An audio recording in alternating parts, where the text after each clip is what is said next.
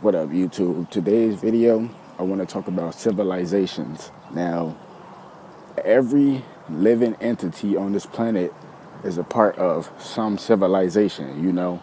Some people call it the food chain. Some people just call it the great big web of life. You know, everything is connected to everything. Now, check this out, though.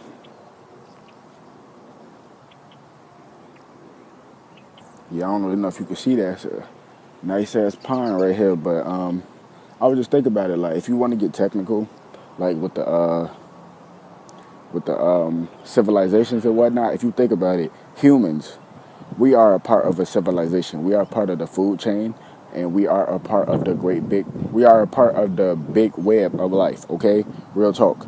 But the main civilization is society, you know. But our civilization, you know what I'm saying, not just no quote unquote color, because ain't no such thing as a race. It's only one race, it's the human race. You know what I'm saying?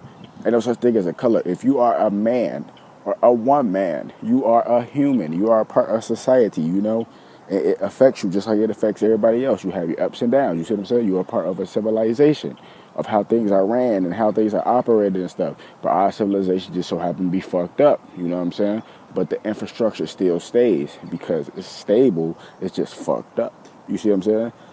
That's why it's that's why it's been running for so long because you know in this world when something is so fucked up, it tends to run on its motors for quite a little bit longer. You know what I'm saying?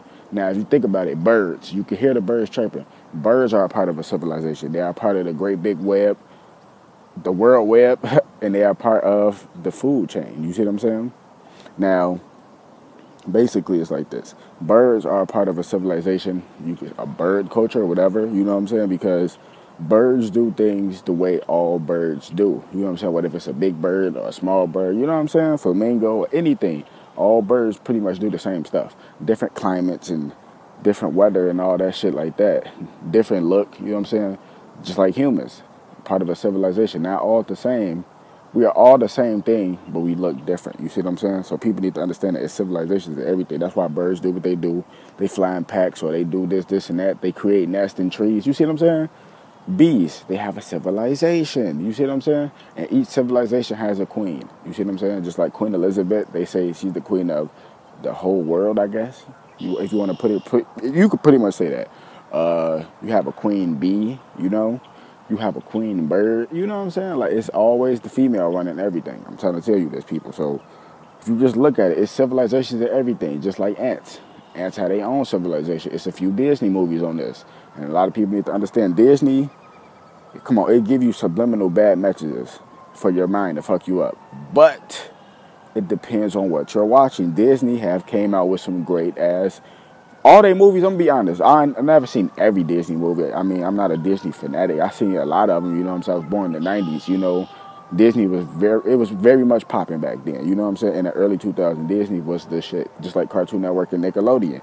But I'm saying though, like it's all about how you perceive the message. Some people take the, some people watch the movie, ooh, just a cartoon. Some people like me, they already see the message. You know what I'm saying? Ain't nobody got to tell them. They just see what's happening. You know what I'm saying? Because it's all in your subconscious. But Disney has some good movies. They had movies on ants, grasshoppers, and shit like that. I think it's called the Ant movie or some shit. Very good movie, okay, people? That's what I'm trying to tell you. They tend to tell you it's civilizations and everything. Nature has its own civilization.